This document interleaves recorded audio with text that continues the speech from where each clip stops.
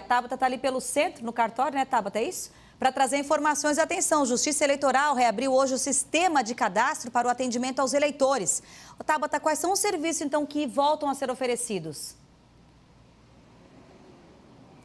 Olha, Sabrina, os serviços que voltam a ser oferecidos a partir de hoje são o perdão, eu me perdi aqui, transferência e revisão, que é no caso quando a pessoa se muda de município, quer votar no município onde ela está morando agora ou mudar o local de votação, ela pode fazer as alterações dos dados cadastrais e também o alistamento eleitoral, que é para quem deseja, precisa fazer a emissão do título de eleitor pela primeira vez. Os usuários, eles podem fazer as operações por autoatendimento via site do Tribunal Regional Eleitoral de Santa Catarina ou presencialmente.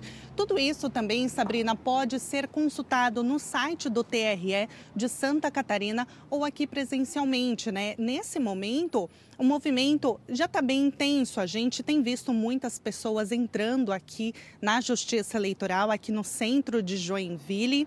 E também é possível, com essa reabertura do cadastramento, é possível, não haverá, aliás, a imediata coleta de, da biometria, que já não é feita desde 2020 por conta da pandemia da Covid-19.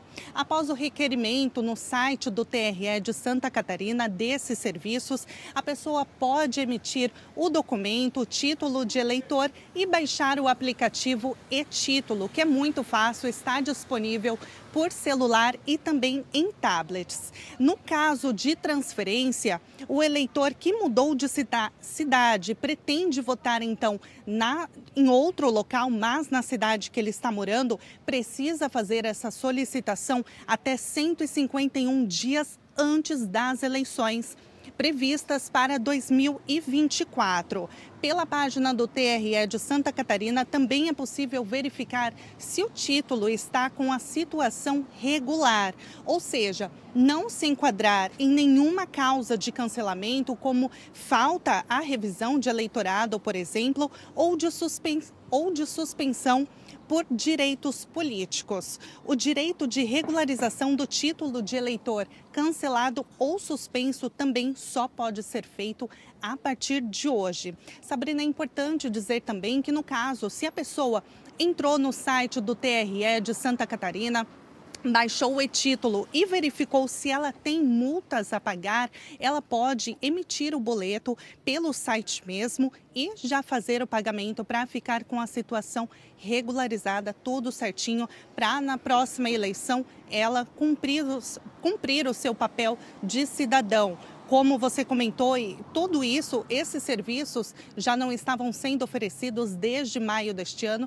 e agora voltam. Todo mundo pode vir aqui na Justiça Eleitoral presencialmente, tirar as dúvidas ou ainda fazer tudo isso pelo site ou pelo aplicativo e título e regularizar toda a situação e emitir então o seu título de eleitor.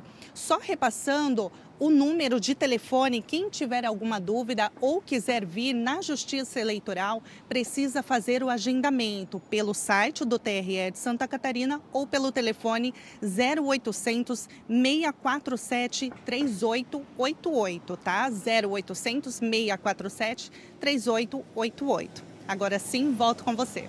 Obrigada, deu para entender bem certinho. Tabata Porte trouxe as, as, informações. Vou dar até uma dica, viu? O e-título, realmente, como ela falou, é bem prático, bem fácil. Você conseguir aí baixar no seu celular, já dá para ver certinho se precisa ou não arrumar alguma situação.